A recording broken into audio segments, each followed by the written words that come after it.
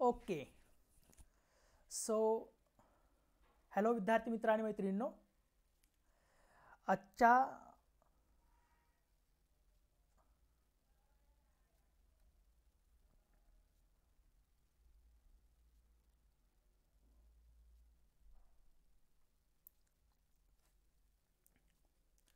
okay welcome to on academy so विद्यार्थी मित्र आणि मैत्रिणींनो आजच्या या लेक्चरमध्ये आज आपण नोबेल पुरस्कार बघणार आहोत जे दोन हजार एकोणीसचे जे नोबेल पुरस्कार दिले गेलेले सर्व ते नोबेल पुरस्कार बघणार आहोत. आणि सगळ्यात महत्त्वाचं म्हणजे हे जे लेक्चर असणार आहे ते लेक्चर सगळ्या जे आता एम पी एस सी राज्यसेवा पूर्वपरीक्षा येणार आहे आणि जी कंबाईनची मेमध्ये S T I S O आणि पी एस आयसाठी जी कंबाईन पूर्व परीक्षा होणार आहे तर या दोन एक्झामसाठी सगळ्यात इम्पॉर्टंट टॉपिक असणार आहे. आणि मी तुम्हाला hundred and one percent guarantee देऊ शकतो की यावर्षी याच्यावर कंबाईन आणि राज्यसेवा प्री पूर्व परीक्षेला एक तरी क्वेश्चन शंभर टक्के फिक्स असणारच आहे. सो तर या टॉपिकचं इम्पॉर्टन्स काय आहे ते आपण आता हा टॉपिक पूर्ण समजावून घेतल्यानंतरच बघूया. ओके म्हणजे तुम्हाला आता आता आपल्याला या लेक्चरमध्ये आज काय बघायचं आहे तर जो नोबेल पुरस्कार आहे तो नोबेल पुरस्कार कधीपासून दिला जातो? कुठल्या कुठल्या विषयामध्ये दिला जातो? त्याच्यामध्ये नंतर कुठला विषय ॲड केला गेला? किंवा याच्या अगोदर कुठल्या भारतीयांना मिळाला? कुठल्या नॉन ओके जे नॉन रेसिडेन्स इंडियन्स आहेत त्या नॉन रेसिडेन्स इंडियन्सला कुठल्या मिळाला? सो याची याचं संरचना काय आहे? याचं म्हणजे जे नोबेल पुरस्कार आहे तो नोबेल्सका नोबेल पुरस्काराचं जी संरचना आहे किंवा त्याच्यासाठी काय काय दिलं जातं त्या सगळ्या गोष्टी आपण पाहणार आहोत. सो याच्याविषयी बेसिक इन्फॉर्मेशन तर आपण बघणारच आहोत एक्झामच्या दृष्टिकोनातून. बट यावर्षी जे सहा विषयांमध्ये जे नोबेल पुरस्कार दिलेले ते नोबेल पुरस्कार पण बघणार आहोत. आणि जो गेल्या वर्षीचा जो नोबेल साहित्यामध्ये जो एक नोबेल पुरस्कार दोन हजार अठराचा दिला गेला नव्हता. बरोबर का? तो सो तो जो दोन हजार अठराचा साहित्यातला नोबेल पुरस्कार आहे तो यावर्षी परत म्हणजे यावर्षी दिला गेलेला आहे. सो यावर्षी दोन हजार अठरा आणि दोन हजार एकोणीसचा असा दोन्ही वर्षातला मिळून त्यांनी साहित्याचा पुरस्कार दिलेला आहे. सो हे लेक्चर तुम्हाला राज्यसेवा पूर्व परीक्षा आणि कंबाईन पूर्व परीक्षा तसंच इतर ज्या एक्झाम असणार आहेत जसे की बँकिंगच्या एक्झाम असतील किंवा क्लास थ्रीच्या एक्झाम असतील किंवा महापरीक्षेच्या महापोर्टलच्या एक्झाम्स असतील. सो त्याचे त्याच्यासाठी सुद्धा हे खूप इम्पॉर्टंट लेक्चर असणार आहे. ओके सो आता आपण याला काय करूया? या लेक्चर आपण स्टार्ट करूया. सो हे लेक्चर मी प्रेझेंट करतोय किशोर गोरे. तर विद्यार्थी मित्र आणि मैत्रिणींनो लेक्चर स्टार्ट होण्या अगोदर तुम्हाला काही इन्फॉर्मेशन द्यायची आहे. ती म्हणजे आपण अनअकॅडमी प्लॅटफॉर्मवरती अनअकॅडमीचा जो प्लस प्लॅटफॉर्म आहे त्या प्लस प्लॅटफॉर्मवरती आपण राज्यसेवा पूर्व परीक्षा आणि जी कंबाईन पूर्व परीक्षा ओके राज्यसेवा पूर्व आणि मुख्य आणि कंबाईन पूर्व आणि मुख्य परीक्षा या दोन्हींसाठी कॉम्प्रिहेन्सिव्ह कोर्सेस आपण डिझाईन केलेले आहेत आणि कॉम्प्रिहेन्सिव्ह कोर्सेस ते चालूसुद्धा झालेले आहेत.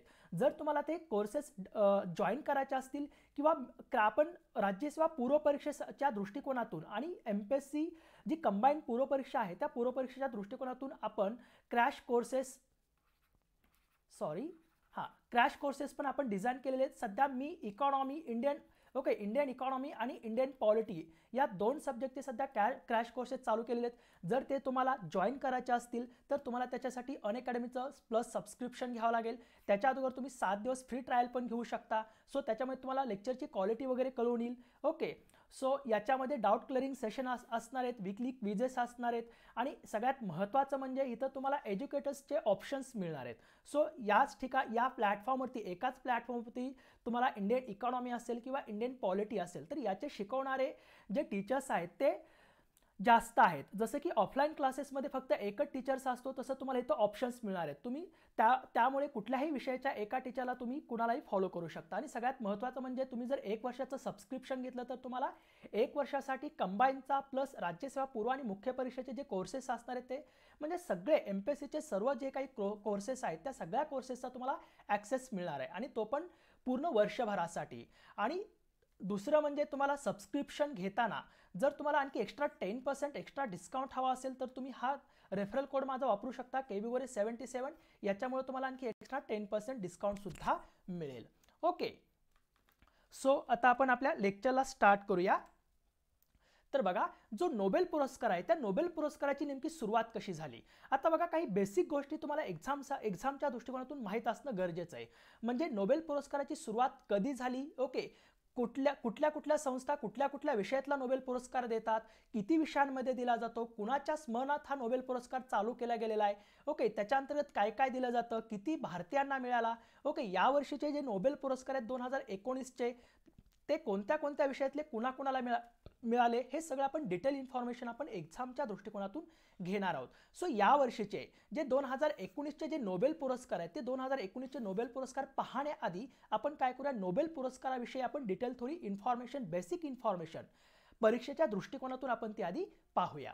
सो बघा नोबेल पुरस्काराची सुरुवात होण्या पाठीमागे एक एक छोटीशी गोष्ट आहे. ती गोष्ट तुम्हाला सांगतो. ॲक्च्युली झालं असं होतं.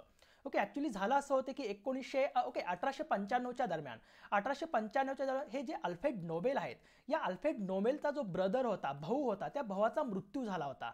आणि भावाचा मृत्यू झाल्यानंतर एका स्वीडिश प पत्रामध्ये किंवा स्वीडिश न्यूजपेपरमध्ये एक बातमी छापून आली की जे अल्फ्रेड नोबेल आहेत त्या अल्फ्रेड नोबेल यांचाच मृत्यू झाला आहे म्हणून.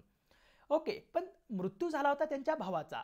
पण नंतर हे ज्यावेळेस बातमी अल्फ्रेड नोबेल यांनी वाचली त्यावेळेस अल्फ्रेड नोबेलला एक एक एक कल्पना सुचली की बाबा आपण जे काही शोध लावलेले आहेत ओके अल्फ्रेड नोबेल एक सायंटिस्ट होते. सो त्यांनी ज्यावेळेस ते सायंटिस्ट होते त्यांनी बरेच रिसर्च केले होते बरेच शोध लावले होते. त्यातून बरेच त्यांना पुरस्कार मिळाले होते. ओके बरीच रक्कम त्यांच्याकडे जमा झाली होती. सो त्या रकमेचा त्या पुरस्कारांचा काहीतरी उपयोग व्हावा. सो त्यांना ही कल्पना सुचली की आपण ज्यावेळेस मरल ओके कुठलाही व्यक्ती एक दिवस मरणार आहे. सो आपणही तसे एक दिवस जसा आपला भाऊ मेला तसंही आपण एक दिवस मरणार आहोत. सो आपण मेल्यानंतर आपलं ओके आपलं अस्तित्व काय असणार? सो हे अस्तित्व टिकून ठेवण्यासाठी त्यांनी काय केलं? मग एक त्यांचा ओके म्हणजे त्यांचा अठराशे शहाण्णवला ओके त्यांचा अठराशे दहा डिसेंबर अठराशे शहाण्णवला त्यांचा मृत्यू झाला होता अल्फ्रेड नोबेलचा. त्याच्या अगोदर त्यांनी एक मृत्यूपत्र लिहून ठेवलं होतं आणि त्याच्यामध्ये त्यांनी सांगितलं होतं की बाबा माझ्या मृत्यूनंतर माझ्या स्मरणात एखादा पुरस्कार नोबेल पुरस्कार नावाचा पुरस्कार चालू करण्यात यावा. आणि तो वेगवेगळ्या विषयांमध्ये देण्यात यावा. सो मला जी आत्तापर्यंत मिळालेली रक्कम आहे माझी जी संपत्ती आहे ती संपत्ती सगळी त्याच्यासाठी यूज करावी. सो अशी एक छोटीशी कहाणी होती. सो ज्या वेळेस त्यांचा जो अल्फ्रेड नोबेल आहे त्या अल्फ्रेड नोबेलचा जो मृत्यू आहे तो अठराशे ओके दहा डिसेंबर अठराशे शहाण्णवला त्यांचा मृत्यू झाला आणि अठराशे शहाण्णवला मृत्यू झाल्यानंतर मृत्यू झाल्यानंतर एकोणतीस जून एकोणीसशेला एकोणतीस ओके एकोणतीस जून एकोणीसशेला काय झाली? तर एक नोबेल फाउंडेशनची स्थापना झाली एक खाजगी संस्था म्हणून त्यांची स्थापना झालेली आहे. ओके सो या या अंतर्गत त्यांनी काय केलं? एकोणीसशे एक पासून नोबेल पुरस्काराच्या वेतनात चालू केलेलं आहे. ही जी नोबेल फाउंडेशन आहे या नोबेल फाउंडेशनचा हा लोगो आहे ओके इथं इथं एन लिहिलेलं आहे Nobel foundation. So I think की आय होप की तुम्हाला ही छोटीशी गोष्ट तुम्हाला लक्षात आली असेल. सो आता बघूया आपण काय करूया आता अल्फ्रेड नोबेलविषयी थोडक्यात माहिती बघूया. सो तुम्हाला तर आत्ता सांगितलं की एकोणीसशे एकला जी नोबेल फाउंडेशन आहे त्या नोबेल फाउंडेशननी काय केलं? एकोणीसशे एकला नोबेल पुरस्कार द्या. म्हणजे जे स्वीडिश वैज्ञानिक आहेत अल्फ्रेड नोबेल यांच्या स्मरणात काय केलं? तर नोबेल पुरस्कार देण्यासाठी चालू केलेलं आहे. कधीपासून? तर एकोणीसशे एक पासून. सो कधी दिला जातो हा नोबेल पुरस्कार? तर हा नोबेल पुरस्कार दरवर्षी दहा डिसेंबरला दिला जातो. राईट दहा डिसेंबरला का दिला जातो? कारण त्यांचा जो मृत्यू आहे तो दहा डिसेंबर अठराशे शहाण्णवला झाला होता. सो यांच्या या अल्फ्रेड नोबेलच्या स्मरणात्मक हा नोबेल पुरस्कार त्यांनी सुरू केलेला आहे वेगवेगळ्या विषयांमध्ये. आता सध्या पाच विषय ओके आता सध्या किती? सहा विषयांमध्ये दिला जातो. आधी तो पाचमध्ये दिला जातो आता नंतर त्याच्यामध्ये ऍड केला गेलेला आहे. सो ते सब थोडी जी माहिती देणार आहे मी तुम्हाला ती एक्झामच्या परीक्षेच्या दृष्टिकोनातूनच देणार आहे कारण एक्झाममध्ये कधी पण या माहितीवर सुद्धा ते क्वेश्चन विचारू शकतात. कारण जे नेचर ऑफ द क्वेश्चन आहे ओके जे एम पी एस सीचं विचारण्याची क्वेश्चनची जी स्ट्रॅटेजी आहे ओके क्वेश्चन विचारण्याची स्ट्रॅटेजी किंवा क्वेश्चन विचारण्याची त्यांची संरचना आहे तर ते काय करतायत? तर पूर्ण मिक्स क्वेश्चन विचारतायत. यावर्षीचा एखादा नोबेल पुरस्कार त्याच्यामध्ये टाकायचा पाठीमागटलं एखादं स्टेटमेंट टाकायचं म्हणजे असं मिक्स स्टेटमेंट चार ते पाच स्टेटमेंट टाकून काय करतायत ते पुरस्कार विचारत आहेत. सो त्याच्यासाठी लक्षात या पण काही बेसिक गोष्टी आपल्याला लक्षात ठेवायच्या आहेत. सो अल्फ्रेड नोबेल हे एक रसायनशास्त्रज्ञ होते ते एक अभियंते सुद्धा होते ओके? आणि ते संशोधक सुद्धा होते. बस एवढं तुम्हाला लक्षात ठेवायचं आहे आणि त्यांच्या कार्यकाळात बघा ते मरेपर्यंत त्यांच्या ओके म्हणजे मरेपर्यंत त्यांनी आत्तापर ओके म्हणजे अठराशे शहाण्णवपर्यंत त्यांनी जवळजवळ तीनशे पंचावन्न शोध लावले होते. आणि त्याच्यामध्ये सगळ्यात महत्त्वाचे शोध होते ते म्हणजे डायनामॅट आणि बॅलिस्टॅट. या दोन ओके या दोनांचा शोध हा एकदम सगळ्यात महत्त्वाचे दोन शोध लावले होते. सो आता आपण काय करूया? आता मी तुम्हाला सांगितलं की नोबेल पुरस्कार जे आहे ते एकूण सहा विषयांमध्ये दिले जातात. आता एक गोष्ट लक्षात ठेवा ज्यावेळेस नोबेल पुरस्काराची स्थापना झाली एकोणीसशे एकला नोबेल पुरस्काराची स्थापना झाली ओके आणि एकोणीसशे एकपासून नोबेल पुरस्कार देण्यासाठी चालू केले. ज्यावेळेस स्थापना झाली होती त्यावेळेस फक्त पाच विषयांमध्ये नोबेल पुरस्कार दिला जात होता. पण एकोणीसशे एकोणसत्तरला एकोणीसशे एकोणसत्तरला नंतर अर्थशास्त्रातला नोबेल पुरस्कार पण त्यांनी ॲड केले गेलेला आहे. ओके सो म्हणजे आत्ता लक्षात ठेवायचं की आत्ता या नोबेल पुरस्कार हा सहा विषयांमध्ये दिला जातो. सो ते विषय कुठले कुठले तर रसायनशास्त्र ओके केमिस्ट्री भौतिकशास्त्र फिजिक्स साहित्य ओके लिटरेचर जागतिक शांतता ओके ग्लोबल पीस आणि वैद्यकशास्त्र. वैद्यकशास्त्र ओके याच्यामध्ये मेडिसिन किंवा सायकोलॉजी असे दोन वर्ड्स वापरले जातात. आणि एकोणीसशे एकोणसत्तरपासून हा अर्थशास्त्रातला इकॉनॉमिक्समधला सुद्धा नोबेल पुरस्कार देण्यासाठी त्यांनी चालू केलेले आहे. सो लक्षात असू द्या आधी पाच विषयांमध्ये दिला जातो आता. आता तो सहा विषयांमध्ये दिला जातो. सो आता आपल्याला काय करायचं आहे आता एक गोष्ट लक्षात घ्या जी एकोणीसशे एकला जी नोबेल फाउंडेशन स्थापना झाली होती नोबेल फाउंडेशनची ती नोबेल फाउंडेशनच सगळ्या विषयांमध्ये हे नोबेल पुरस्काराचं वितरण करत नाही. तर काही जे विषय आहेत त्या वेगवेगळ्या विषयांचं ओके वेगवेगळ्या ज्या अकॅडमीज आहेत त्या अकॅडमीज काय करतात? त्यांचं वितरण करतात. सो नोबेल पुरस्कार वितरण करणाऱ्या ज्या संस्था आहेत त्या पण आपल्याला परीक्षेच्या दृष्टिकोनातून काय करावं लागतील? लक्षात ठेवावे लागतील. सो बघा आता जे भौतिकशास्त्र रसायनशास्त्र आणि अर्थशास्त्र फिजिक्स केमिस्ट्री आणि जे इकॉनॉमिक्स आहे या तीन विषयांमधला जो नोबेल पुरस्कार दिला जातो तो कुणाकडून दिला जातो? तर तो रॉयल स्वीडिश अकादमी ऑफ सायन्सेसकडून दिला जातो. हे लक्षात असू द्या. नंतर जो वैद्यकशास्त्रातला आहे म्हणजे मेडिसिन किंवा सायकोलॉजी या विषयामधला जो नोबेल पुरस्कार आहे तो नोबेल पुरस्कार हा कॅरोलिन्सिक इन्स्टिट्यूट ऑफ स्वीडन या संस्थेतर्फे दिला जातो. आणि जो साहित्यातला पीस ओके जो साहित्य सॉरी लिटरेचरमधला जो नोबेल पुरस्कार आहे तो लिटरेचरमधला नोबेल पुरस्कार द स्वीडिश अकादमी यांच्यामार्फत या संस्थेमार्फत दिला जातो. आणि सगळ्यात महत्त्वाचं म्हणजे जो शांततेचा नोबेल पुरस्कार आहे तो शांततेचा नोबेल पुरस्कार नॉर्वेजियन नोबेल पुरस्कार या संस्थेतर्फे दिला जातो. सो लक्षात ठेवा की हे जे सहा विषय आहेत या सहाची सहा विषयांमध्ये एकच संस्था किंवा फक्त नोबेल फाउंडेशनच याचं वितरण करत नाही तर वेगवेगळ्या चार अकॅडमीज आहेत चार ओके संस्था आहेत. त्या चार संस्था या विषयांमध्ये काय करतात? नोबेल पुरस्काराचं वितरण करण्याचं काम करतात. हे एक्झामच्या दृष्टिकोनातून खूप महत्त्वाचं आहे मित्रांनो. त्याच्यासाठी मी तुम्हाला ही इन्फॉर्मेशन देतोय. कधी एम पी एस सी याच्यावर क्वेश्चन विचारेल काही सांगता येत नाही. सो त्याच्यासाठी आपल्याला युद्धाला तयार राहायचं आहे युद्धाला जाताना बघा आपण कुठल्याही युद्धाला जाताना फक्त काय तलवार किंवा एखादी फक्त रिव्हॉल्वरच घेऊन जातो का? नाही त्या रिव्हॉल्वर ओके आपण एखादी ए के फोर्टी सेवन घेऊन गेलो. एखादा सैनिक ए के फोर्टी सेवन बरोबर दोन चार रिव्हॉल्वर पण घेऊन जातो. ओके त्याच्याकडे बॉम्ब पण असतात. बाकीच्या ओके नंतर दारुगोळा वगैरे सगळ्याच गोष्टी घेऊन गेलेला असतो. म्हणजे आपल्याकडे बॅकअप प्लॅन पण पाहिजे. उद्या जर याच्यावर एम पी एस सीनं क्वेश्चन विचारला तर मग आपल्याला ही इन्फॉर्मेशन माहीत असायला पाहिजे. सो एम पी एस सीनं युद्ध पुकारलेले आपल्याबरोबर आता. तीन महिन्यानंतर युद्ध आहे. सो त्या युद्धाला आपल्याला काय करायचं पूर्णपणे काय करायचं पूर्ण इन्क्लुझिव्हपणे त्याला सामोरं जायचं आहे सो त्याच्यामुळे आपल्याला ह्या सगळ्या ज्या बेसिक गोष्टी आहेत या पुरस्काराविषयी तर त्या तुम्हाला माहिती असायलाच हव्यात. सो आता दुसरं म्हणजे काय? तर बघा हे जे पुरस्कार आहेत ते तुम्हाला मगाशी सांगितलं की हा दहा डिसेंबरला दिला जातो. दहा डिसेंबरला का दिला जातो? तर दहा डिसेंबर अठराशे शहाण्णवला जे अल्फ्रेड नोबेल होते त्यांचा मृत्यू झाला होता. सो त्यांच्याच या स्मरणात काय केला जातो? दहा डिसेंबरला ऑक्टोबरमध्ये या पुरस्काराची काय केली जाते? घोषणा केली जाते आणि दहा डिसेंबरला हा पुरस्कार वितरित केला जातो. राईट सो शांततेचा नोबेल पुरस्कार सोहळा जो आहे तो ओस्लो नॉर्वेमध्ये हो, नॉर्वेमधून होतो. आणि जे बाकी बाकीचे जे पाच विषयातले नोबेल पुरस्कार आहेत ते कुठून होतं तर स्टॉकहोम स्वीडनमधून दिले जातात. हे लक्षात असू द्या. आता इतर माहिती तुम्हाला लक्षात असणं गरजेचं आहे किंवा हा नोबेल पुरस्कार नेमका कधी दिला गेला नाही? किंवा तो मरणोत्तर दिला जातो की नाही? आतापर्यंत किती व्यक्तीला दिला गेला? किंवा हा नोबेल जो नोबेल पुरस्कार आहे तो किती व्यक्तींना दिला जातो? ओके. सो बघा तर हा पुरस्कार जो आहे तो दोन जागतिक महायुद्ध म्हणजे जे पहिलं महायुद्ध आहे एकोणीशे चौदा ते एकोणीशे अठराला झालेलं आणि जे दुसरं वर्ल्ड वॉर सेकंड जे आहे ते एकोणीशे एकोणचाळीस ते एकोणीशे पंचेचाळीस दरम्यान झालं होतं. सो ह्या दोन महायुद्धातला जो काळ आहे तो सोडला तर प्रत्येक वर्षी काय केलेला आहे नोबेल पुरस्कार देण्यात आलेला आहे. पण एक गोष्ट आणखी याच्यामध्ये ऍड करायची ती म्हणजे जो दोन हजार अठराचा शांततेचा पुरस्कार सॉरी लिटरेचरमधला जो पुरस्कार आहे साहित्यातला पुरस्कार तो दिला गेला नव्हता. काही कारणास्तव तो दिला गेला नव्हता पण हा दोन हजार अठराचा जो लिटरेचरमधला पुरस्कार आहे तो दोन हजार एकोणीसमध्ये दिला गेलेला आहे. ओके दोन हजार एकोणीसचा पण आणि दोन हजार अठरासाठीचा पण दोन हजार एकोणीसमध्ये दिला गेलेला आहे. ओके सो आता दुसरं म्हणजे हा जो नोबेल पुरस्कार आहे तो मरणोत्तर दिला जात नाही. लक्षात ठेवा हा पुरस्कार मरणोत्तर कधीच दिला जात नाही. हा आता दुसरी गोष्ट आणखी लक्षात ठेवायची ती म्हणजे हा एका व्यक्तीला किंवा एका संस्थेला किंवा जास्तीत जास्त किती तीन व्यक्ती किंवा संस्थेला दिला जातो. म्हणजे तीन व्यक्ती किंवा तीन ओके संस्थापेक्षा जास्त व्यक्तींना म्हणजे चार व्यक्तींना सुद्धा तो विभागून देण्यात येत नाही. फक्त तो तीनच व्यक्तींना जास्तीत जास्त तीन व्यक्तींना तो विभागून देण्यात येतो. हे पण लक्षात ठेवा. आतापर्यंत हा पुरस्कार इन्क्लुडिंग आठशे चौवेचाळीस लोकांना ओके आठशे चौवेचाळीस मेन्स त्याच्यामध्ये पन्नास महिला सुद्धा आहेत. तर अशा व्यक्तींना टोटल अशा लोकांना देण्यात आलेला आहे.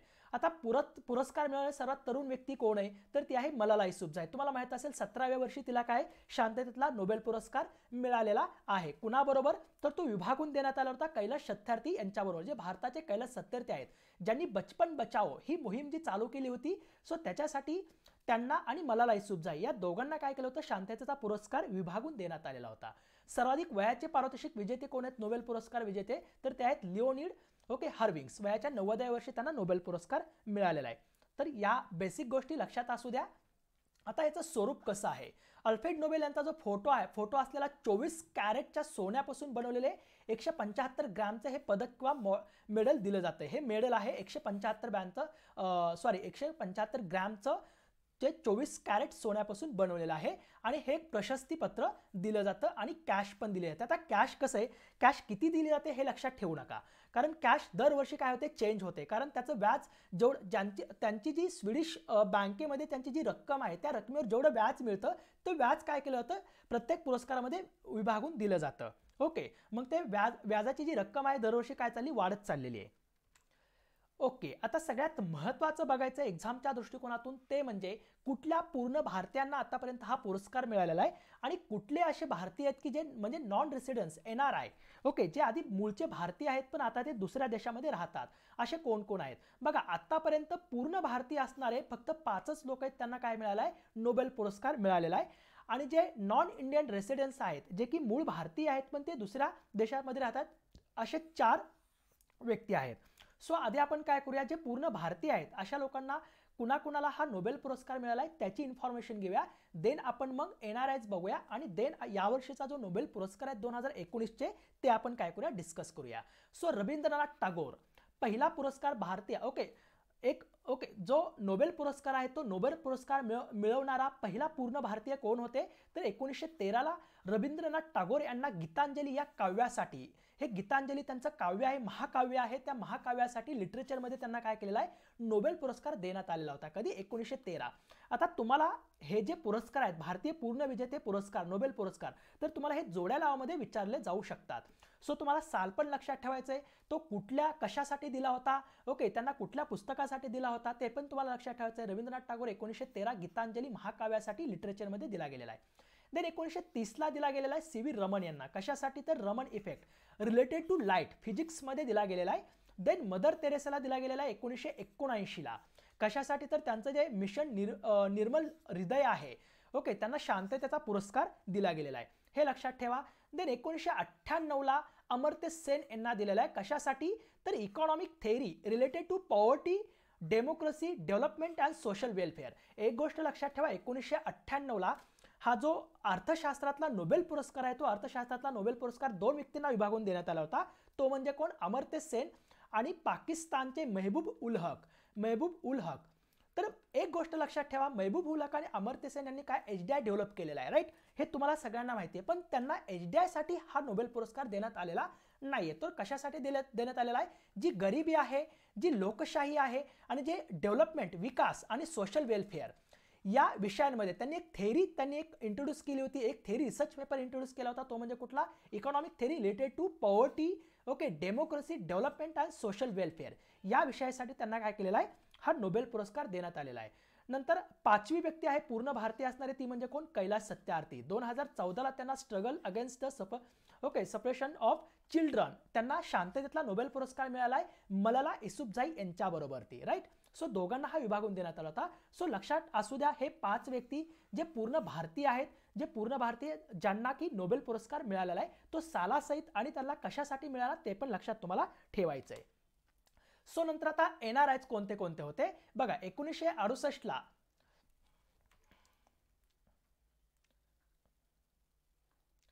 बघा एकोणीसशे अडुसष्टला हरगोविंद खुरानाला मिळालेला आहे सायकोलॉजी किंवा मेडिसिनमध्ये आता ते सध्या बघा ते ॲक्च्युली बॉर्न झालेत रायपूर इंडियामध्ये. म्हणजे ते मूळचे इंडियन आहेत पण त्यांना ओके सध्या ते कुठं राहतात? युनायटेड स्टेट्समध्ये ओके युनायटेड स्टेट्सचे ते काय होते? नंतर त्यांनी तिकडलं सिटिझनशिप घेतलं होतं. सो हे येणार आहेत जे मूळचे भारतीय होते एकोणीसशे अडुसष्टला हरगोविंद खुराना खुरानाला मेडिसिन किंवा सायकोलॉजीमध्ये नोबेल पुरस्कार मिळालेला आहे. देन सुब्रमण्यम चिदम ओके चंद्रशेखर. सुब्रमण्यम चंद्रशेखर यांना एकोणीसशे त्र्याऐंशी साली नोबेल पुरस्कार मिळालेला आहे. ते पण युनायटेड स्टेटचे सिटिजनशिप त्यांनी घेतलेलं होतं. ते लाहोरमध्ये जन्मले होते. त्यावेळेच्या इंडियामध्ये ओके त्यांना फि फिजिक्समध्ये काय मिळालेला आहे? नोबेल पुरस्कार. देन दोन हजार पाच साली ओके व्यंकी रामकृष्णन हे सध्या United okay United Kingdom U K England आणि यू एस या दोन्हींचे काय आहेत? त्यांच्याकडे सिटिजनशिप आहे. ते इंडियामध्ये तामिळनाडूमध्ये जन्मले होते. सो त्यांना केमिस्ट्रीमधला या केमिस्ट्री या विषयामध्ये त्यांना नोबेल पुरस्कार मिळाला होता. आणि यावर्षी यावर्षी दोन हजार एकोणीसचे विजेते ते कोण आहेत? अभिजित बॅनर्जी. हे मूळ इंडियन आहेत पण सध्या ते युनायटेड स्टेट्सचे काय सिटिजन आहेत. ओके त्यांना कशामध्ये मिळाला? तर इकॉनॉमिक सायन्सेसमध्ये मिळाला आहे. कशासाठी? For their experimental approach to alleviating global poverty आता याच्या यांच्याबद्दल आपल्याला डिटेल इन्फॉर्मेशन बघायचीच आहे कारण या यांच्यावर.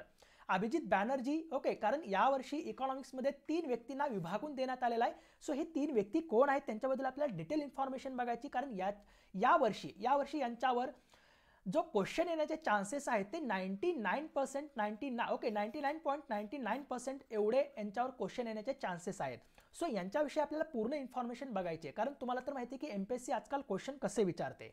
राईट सो आता आपण काय करूया? यावर्षीचे जे दोन हजार एकोणीसचे नोबेल पुरस्कार आहेत ते नोबेल पुरस्कार आपण काय करूया? बघूया. तर बघा लक्षात ठेवा यावर्षीचा जो दोन हजार एकोणीसचा अर्थशास्त्रातला जो नोबेल पुरस्कार आहे तो तीन व्यक्तीला विभागून देण्यात आलेला आहे. ते मग एकोणीसचा जो नोबेल पुरस्कार आहे अर्थशास्त्रातला इकॉनॉमिक्समधला तीन व्यक्तींना विभागून देण्यात आला तो म्हणजे अभिजित बॅनर्जी. ओके नंतर एस्तर डप्लो जे की अभिजित बॅनर्जी यांच्याच काय आहेत त्या पत्नी आहेत. त्या फ्रेंच अमेरिकन आहेत. त्या मूळच्या फ्रेंच आहेत पण सध्या त्या अमेरिकेमध्ये राहतात.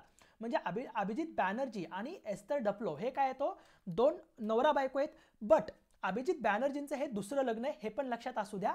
ओके नंतर यांच्याबरोबरच यांच्या या दोघांच्या या दोन कपल ओके हे जे कपल आहे या कपलच्या बरोबर आणखी एका व्यक्तीला हा अर्थशास्त्रातला नोबेल दिला ते म्हणजे कुठले? मायकल क्रेमर ते पण अमेरिकेचे आहेत. ओके मायकल क्रेमर या तिघांना या वर्षीचा काय केलेला आहे? इकॉनॉमिक्समधला जो नोबेल पुरस्कार आहे तो विभागून देण्यात आलेला आहे. मी तुम्हाला मग इन्फॉर्मेशन सांगताना सांग सांगितलं होतं की हा जो नोबेल पुरस्कार आहे तो एकतर तीनच व्यक्तींना विभागून दिला जाऊ शकतो त्याच्यापेक्षा जास्त नाही. एक किंवा दोन किंवा तीन व्यक्ती. जास्तीत जास्त तीन व्यक्तींना दिला जातो. सगळ्यात ल महत्त्वाचं लक्षात ठेवा की जे अभिजित बॅनर्जी आहेत ते भारतीय वंशाचे चौथे नोबेल विजेते आहेत. आधीचे कोण आहेत ते आत्ता आपण आत्ताच डिस्कस केलं. सो आता आपण काय करूया? जे अभिजित बॅनर्जी आहेत अभिजित विनायक बॅनर्जी यांच्याविषयी आपण थोडक्यामध्ये माहिती बघूया. ओके सो आता अभिजित बॅनर्जी आहेत त्यांचा त्यांचा जो जन्म आहे तो मुंबईमध्ये झालेला आहे. म्हणजे महाराष्ट्रामध्ये त्यांचा जन्म झालेला आहे हे लक्षात ठेवा. ओके बट ते मूळचे कोलकात्याचे आहेत, हे पण लक्षात असू द्या. यांना कशासाठी मिळाला आहे? यांना कशासाठी मिळाला आहे? सगळ्यात महत्त्वाचं डिस्कस करायचं राहिलं ते म्हणजे या तिघांना कशासाठी नोबेल पुरस्कार मिळाला आहे? तर for their experimental approach to alleviating global poverty यांनी काय केलं माहिती का? यांनी काय केलं? जे अभिजित बॅनर्जी आणि त्यांची जी बायको आहे कुठली एस्तर डफलो या दोघांनी यांनी यांनी आफ्रिकेमधले आफ्रिकेमध्ये त्यांनी ऑब्झर्वेशन्स केलेत पॉवर्टीचे आणि या दोघांनी इंडियामध्ये येऊन ओके एशियन कंट्रीज आणि इंडियामध्ये येऊन त्यांनी काय केले? ऑब्झर्वेशन केलेत. यांनी बघा तुम्हाला तीन ऑब्झर्वेशन सांगतो यांचे. जे अभिजित बॅनर्जी आणि इस्तर डफलो यांनी काय केलं? एकदम बेसिक लेवलला जाऊन एकदम ओके एकदम खेड्या गावांमध्ये जाऊन त्यांनी पॉवर्टीचं काय केलेलं आहे? जी गरिबी आहे ती खेड्यातली गरिबीचं त्यांनी ऑब्झर्वेशन केल्याने काही ऑब्झर्वेशन्स मांडले. आणि जी पॉवर्टी आहे जी ग्लोबल पॉवर्टी आहे किंवा जी जागतिक गरिबी आहे ती कशी त्याच्यावर सोल्युशन काय असेल ते सोल्युशन पण त्यांनी दिलेलं आहे. सो यांनी तीन ओके तीन ऑब्झर्वेशन महत्त्वाचे केले होते ते म्हणजे कुठले? तर ते तीन ऑब्झर्वेशन लक्षात ठेवा. एक म्हणजे त्यांनी काय केलं माहिती आहे का? त्यांनी जे त्यांनी एक ऑब्झर्वेशन केलं जे फुटपाथवर जे फुटपाथवर जे वडापाव विकणारे व्यक्ती असतात त्या वडापाव विकणाऱ्याच्या व्यक्तींमध्ये वर्षानुवर्ष त्यांच्या संपत्तीमध्ये किंवा त्यांच्या जीवनमानामध्ये किंवा त्यांच्या राहणीमानामध्ये का सुधारणा होत नाही त्यांनी ते ऑब्झर्व केलं.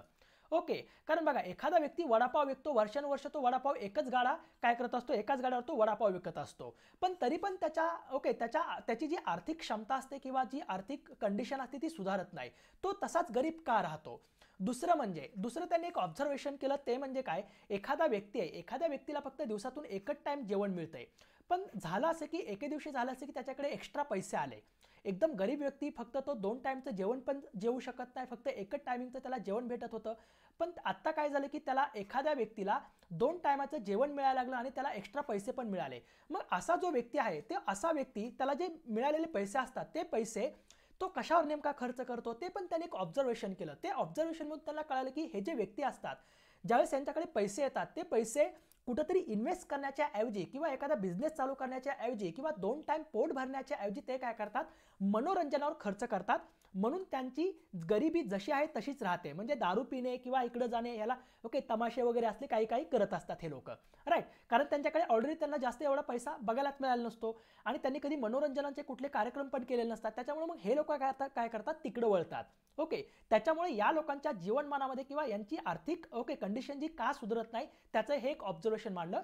तिसरं म्हणजे एखाद्या गावामध्ये एखादी महिला सरपंच झाली तर त्या गावामध्ये काय चेंजेस होतात? ते पण त्यांनी ऑब्झर्वेशन करून काय केलं? मांडलं आणि त्याच्यावर त्यांनी सोल्युशन दिलं की बाबा ग्लोबल पॉवर्टी जी आहे ती सगळ्यात मोठे ह्या जगापुढचं चॅलेंज आहे. बरोबर का? जी गरिबी आहे ती सगळ्यात मोठं चॅलेंज आहे. मग हे चॅलेंजला ओके हे जे चॅलेंज आहे ते ग्लोबल पॉवर्टीवर सोल्युशन्स काय असू शकतात? हे या इस्तर अभिजित बॅनर्जी इस्तर डफलो आणि मायकल क्रेमर यांनी काय केलं? सोल्युशन दिले. आणि त्याच्यामुळेच यांना या तिघांना काय केला? जो नोबेल पुरस्कार आहे अर्थशास्त्रातला तो विभागून देण्यात आलेला आहे. आता सगळ्यात महत्त्वाचं म्हणजे जे एज्युकेशन सगळ्यात महत्त्वाचं लक्षात ठेवायचं कोलकात्यामधून एज्युकेशन झालंय. देन हे जवाहरलाल नेहरू ओके जवाहरलाल नेहरू युनिव्हर्सिटी जे जे एन यू आहे त्या जे एन यूमधून त्यांनी काय केले हो? एम ए केलेले अर्थशास्त्रातून आणि हार्वर्ड युनिव्हर्सिटी जी आहे त्याच्यातून पी एच डी केलेली आहे. सो लक्षात ठेवा यांना तुरुंगात सुद्धा जावं लागलेलं आहे. त्यावेळेस जी विद्यार्थी चळवळ होती त्या विद्यार्थी चळवळीमध्ये एकदम हे ॲक्टिव्ह असायचे आणि इंदिरा गांधींनी यांना तिहार जेलमध्ये सुद्धा टाकलेलं आहे. तिहार. ओके तिहार जेलमध्ये पण हे जाऊन आलेले आहेत. ओके सो यांनी काय केलं? मग दोन हजार चौदाच्या दोन हजार दहा ते दोन हजार चौदाच्या दरम्यान यांनी काय केलं? भारत सोडला आणि अमेरिकेमध्ये गेले आणि तिथं काय केलं? त्यांनी एम आय टीमध्ये जे मॅच्युसेट इन्स्टिट्यूट ऑफ टेक्नॉलॉजी आहे याच्यामध्ये त्यांनी काय केलं? शिकवण्यासाठी चालू केलेलं आहे. हे इस्तर ढपलो त्यांना तिथंच भेटले आणि मग त्यांनी दोघांनी मिळून लग्न केलेलं आहे. सो यांचा आधी डायव्हर्स झालेला आहे. हे लक्षात पण असू द्या. ओके आता यांना हां. सो एवढी जरी तुमच्या इन्फॉर्मेशन लक्षात असली तरी पुरेसं आहे. याच्या पलीकडे क्वेश्चन येणार नाही. सो यांच्यावरचा आपण एक क्वेश्चन पण आपण सॉल्व करूया. ओके एक प्रॅक्टिस क्वेश्चन मी तयार केलेला तो प्रॅक्टिस क्वेश्चन पण आपण सॉल्व करूया तो म्हणजे कुठला बघा? अभिजित बॅनर्जी यांच्याबद्दल खालील विधाने विचारात घ्या. बघा पहिलं विधान आहे त्यांना दोन हजार एकोणीससाठीचा अर्थशास्त्रातील नोबेल पुरस्कार मिळाला आहे. एकदम बरोबर आहे. एकदम बरोबर आहे. अर्थशास्त्रातील नोबेल पुरस्कार मिळाला आहे. ते भारतीय वंशाचे अमेरिकन नागरिक आहेत. हे पण एकदम बरोबर आहे. त्यांच्याबरोबर इतर दोन व्यक्तींना सुद्धा अर्थशास्त्रातील नोबेल पुरस्कार मिळाला आहे ज्यात त्यांची पत्नी सुद्धा आहे. हे सुद्धा बरोबर आहे इस्तर डफलो. बरोबर का? नंतर म्हणजे क्वेश्चन कसा विचारला जाऊ शकतो? ओके याच्यामध्ये पाच सहा पण त्याच्यामध्ये काय दिले जाऊ शकतात? स्टेटमेंट दिले जाऊ शकतात. हे पण लक्षात असू द्या. त्यांनी वैश्विक गरिबी समूळ नष्ट करण्याच्या प्रयोगात संशोधन केले आहे. हे एकदम बरोबर आहे. सो यांना कशासाठी नेमका हा नोबेल पुरस्कार मिळालाय ते तुम्ही लक्षात ठेवा. ते मूळचे भारतातील कोलकाता येथील आहेत एकदम बरोबर आहे. ते सध्या अमेरिकेतील एम आय टी या विद्यापीठात अर्थशास्त्राचे प्राध्यापक म्हणून काम करत हे सुद्धा एकदम बरोबर आहे. वरीलपैकी कोणते कोणती विधान विधाने बरोबर आहेत ते विचारत घ्या. आता असे जे कीवर्ड्स असतात ना बरोबर आहे चूक आहे अचूक आहे बिनचूक आहे ओके होय नाही असे कीवर्ड्स कधी पण क्वेश्चन सॉल्व्ह करताना काय करायचे? अंडरलाईन करायचे. म्हणजे आपल्याला क्वेश्चन काय होतो? व्यवस्थित सॉल्व्ह करता येतो मग सिली मिस्टेक आपली टळते. सो याचा आन्सर काय असेल? वरीलपैकी सर्व विधाने बरोबर आहेत. आता दोन हजार एकोणीसचा जो शांततेचा नोबेल पुरस्कार आहे तो कुणाला मिळाला? जर तर शांततेचा नोबेल पुरस्कार हे बघा जे इथिओपियाचे ओके एथिओपियाचे जे पंतप्रधान आहेत अबी अहमद अली यांना मिळालेला आहे. यांना कशासाठी मिळाला आहे? तर बघा इथं मी मॅप दिलेला आहे. हा जो आफ्रिका आफ्रिकेचा मॅप आहे बघा कुठला? हा north ईस्टचा Africa okay north east Africa आहे. जर तुम्ही इथिओपिया देश जर तुमच्या मॅपमध्ये शोधला तर तुम्हाला इथं आफ्रिकेच्या नॉर्थ ईस्टला हा मिळेल इथिओपिया. आणि त्याच्यावर एक ओके एरिटेरिया नावाचा एक देश आहे. त्याच्यात त्याच्याच बाजूला. जस जसं भारतातून पाकिस्तान वेगळा झाला तसंच इथिओपियामधून एरिटेरिया पण एकोणीसशे त्र्याण्णवला वेगळा झाला होता. एकोणीसशे त्र्याण्णवला या एरिटेरियाला इथिओपियामधून इंडिपेंडन्स मिळालं होतं. बट नंतर काय झालं? यांच्यामध्ये वॉर चालू झालं. कधीपासून तर एकोणीसशे अठ्ठ्याण्णवपासून. एकोणीसशे अठ्ठ्याण्णवला काय केलं? जसा पाकिस्तान आपल्याला सतत ओके सतत जसं पाकिस्तानने आपल्याबरोबर दोन वेळेस युद्ध केलं तसंच या एरिटेरियाने सुद्धा इथिओपियाबरोबर युद्ध केलं एकोणीसशे अठ्ठ्याण्णवला. आणि एकोणीसशे अठ्ठ्याण्णवपासून यांच्यात मध्ये काय चालू होतं? युद्ध चालू होतं. पण ही जी युद्धजन्य परिस्थिती होती दोन देशांमध्ये याच्यामुळे जवळजवळ एक लाख लोक याच्यामध्ये एरिटेरिया आणि इथिओपियाची दोन्ही देशांची एक लाख एक एक लाख असे जवळजवळ दीड ते दोन लाख लोक मारली गेली त्याच्यामध्ये. आणि दुसरं म्हणजे काही कोटी लोक पण डिस्प्लेस झाली दुसऱ्या ठिकाणी. सो हे जे वॉर होतं हे जे वॉर चालू होतं ते वॉर जे आहे त्यांनी काय केलं? हे जे इथिओपियाचे पंतप्रधान आले दोन हजार आता सध्याचे हे पंतप्रधान आहेत. ज्यावेळेस ते पंतप्रधानपदी आले त्यांनी काय केलं? इथि एरिटेरियाबरोबर त्यांनी काय केलं? पीस अकॉर्ड त्यांनी साईन केलेलं आहे. सो त्याच्यासाठी ही जी दीर्घकाळ सुरू असलेला जो संघर्ष आहे तो सीमा संघर्ष त्यांनी आता काय केलेला आहे? संपवलेला आहे. त्याच्यासाठी म्हणून त्यांना काय केलं? शांततेचा नोबेल पुरस्कार देण्यात आलेला आहे. लक्षात ठेवा हे सगळे सहारन देश आहेत. Sudan South Sudan okay Ethiopia Eritrea Somalia. नंतर हा कुठला ओके कॅनल आहे हे पण तुमच्या लक्षात असेल. तर तुम्ही ते मॅपमध्ये तुम्ही बघून घेऊ शकता. देन यावर्षीचा जो नोबेल पुरस्कार आहे साहित्यातला मी तुम्हाला सांगितलं की दोन हजार अठराला ओके दोन हजार अठराचा दोन हजार अठराला नोबेल पुरस्कार देण्यात आलेला नव्हता साहित्यातला पण तो काय केला त्यांनी दोन हजार एकोणीसमध्ये दिलेला आहे. सो दोन हजार अठरा आणि दोन हजार एकोणीस या दोन्ही वर्षासाठी यावर्षीचा साहित्यातला नोबेल पुरस्कार दिला गेलेला आहे. तर तो कुठला? बघा तर आता दोन हजार अठराचा जो साहित्यातला नोबेल पुरस्कार आहे तो कुणाला मिळाला आहे? तर ओगला ओके यांना मिळाला आहे ओगला टोकझुर्क यांना. या पोलंडच्या आहेत ओके कादंबरीकार आहेत ओके आणि सगळ्यात महत्त्वाचं म्हणजे नोबेल पुरस्कार मिळवणाऱ्या त्या पंधराव्या महिला सुद्धा आहेत. लक्षात ठेवा ओके नंतर कवि त्यांच्या कुठले कुठले कविता संग्रह आणि कादंबरी आहेत ते पण तुम्हाला लक्षात ठेवायचे ओके कारण हे एक्झाममध्ये विचारलं जातं. सो सिटीज इन मिरर्स ही त्यांनी एकोणीसशे एकोणसत्तरला लिहिलेला कविता संग्रह त्यांच्या कादंबऱ्या कोणत्या कोणत्या ते लक्षात ठेवा. The journey of the book people ज the journey of the book people आणि फ्लाइट्स ज्याला की दोन हजार अठरामध्ये मॅन बुकर पुरस्कार सुद्धा मिळालेला आहे. ही फ्लाईट्स त्यांची कादंबरी आहे. त्याला मॅन बुकर दोन हजार अठराचा मिळाला आहे. त्याच्यामुळे लक्षात ठेवा कारण हे विचारू शकतात एक्झाममध्ये दुसरं म्हणजे pie prime well and other times. हे पण त्यांनी कादंबरी लिहिलेली आहे. त्यांचा कथासंग्रह कुठला आहे? तर playing on many times. Playing on many times नावाचा एक कथासंग्रह आहे. तो याच ओल्गा टोकजुर्ग यांनी लिहिलेला आहे. आणि यांना या वर्ष या वर्षीचा नाही तर दोन हजार अठरासाठीचा कधीचा? दोन हजार अठरासाठीचा साहित्यातला नोबेल पुरस्कार मिळालेला आहे. आणि जो दोन हजार एकोणीसचा साहित्यातला नोबेल पुरस्कार आहे तो कुणाला मिळालेला आहे? तर हे पीटर हंडके यांना मिळालेला आहे. Peter Handke. हे ऑस्ट्रियाचे आहेत. ओके तर त्यांची साहित्य संपदा बघा. एकोणीसशे पासष्टला त्यांनी द अंड्रेस्ट नावाची साहित्य लिहिलं होतं. नंतर त्यांनी द सॉरो बियॉन्ड ड्रीम्स नावाचं पण एक साहित्य पुस्तक लिहिलं होतं. आणि सगळ्यात महत्त्वाचं म्हणजे त्यांनी एक मूवी पण डायरेक्ट केला होता. तो होता